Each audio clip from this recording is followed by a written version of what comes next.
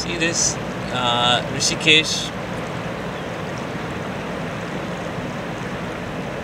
Rishikesh is recharges with the spiritual vibration.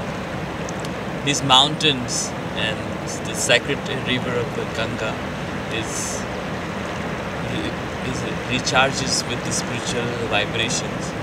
So many thousands of people since the ages they always come here and it's been always its first choice come to the Himalayas and the sacred river of Mother Ganga and meditate and do the spiritual sadhana, their practices here.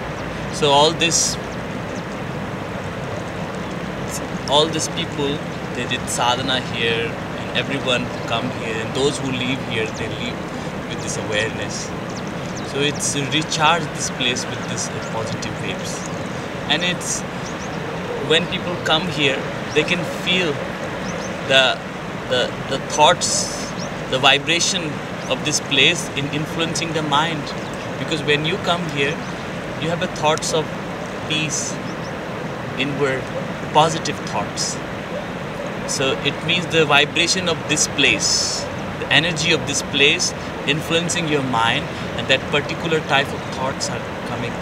So when people come such places like rishikesh so they they are able to step towards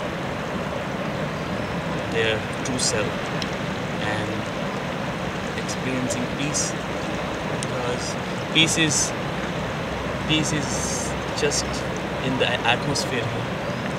The spiritual vibration helped the, the person be separate from their thought process experiencing this moment.